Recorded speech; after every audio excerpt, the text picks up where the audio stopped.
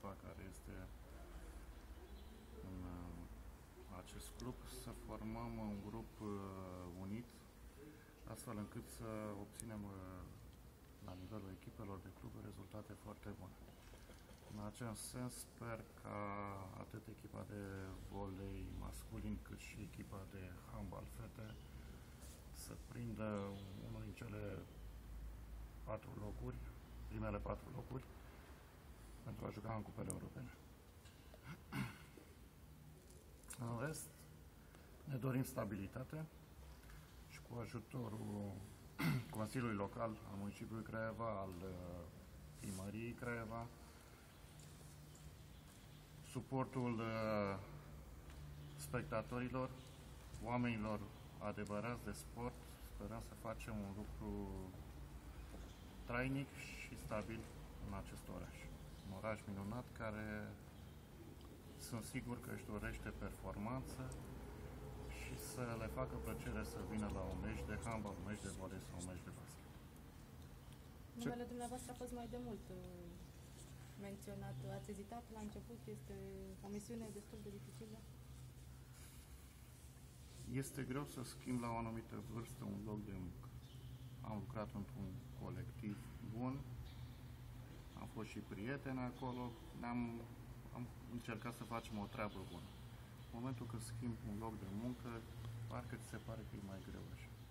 Dar sperăm să ne acomodăm, știu ce înseamnă sportul, vin din fenomen și sperăm să facem o treabă bună. Pentru basket masculin nu a spus un obiectiv.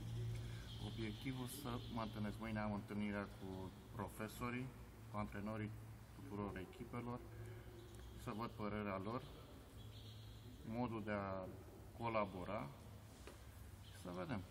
Am înțeles că e o situație mai dificilă, la ei trebuie să câștige cel puțin 3 meciuri din 4 câte mai are, nu? Din 5. Din 5, cel puțin 3 meciuri ca să intre în uh, play-off. Și cele două echipe de fete, basket și volei? Echipele respective văd că au început să aibă rezultate, să câștige, sper să intre și ele acolo. Nu cunosc încă în detaliu situația lor în uh, clasament. Sunt în play-out amândouă. Eh, asta este. Încercăm pentru viitor să găsim o soluție să nu promoveze, să nu retrogradeze, să rămână în prima ligă și începând de anul viitor, proiectul care încercăm să-l facem la nivel uh, de club, să aibă performanțe mai bune. Mm, Funcția dumneavoastră până când este? Până la finalul sezonului sau? Este de interim în momentul. Nu se știe. Nu se știe. Până când se va da examen, sperăm să luăm examenul și să mergem mai departe. Dacă nu, nimeni nu este de ne- neînlocuit. Da. Majoritatea sportivilor se află la final de contract. În anii Da. trecut, din vari motive, fie vorba de buget sau de alte probleme, s-au făcut echipele pe ultima sută de metri. Acum este luna martie. Aveți un plan Anul să- ăsta nu, nu o să mai fie problemele astea. Noi încercăm, uh, asta am discutat și cu domnul Petrișor, uh, încercăm să atragem și sponsori la acest club. Uh, Deci probleme mari pentru basket și volei, fete, băieți, la ei nu sunt, pentru că transferurile la ei se fac de fapt din vară.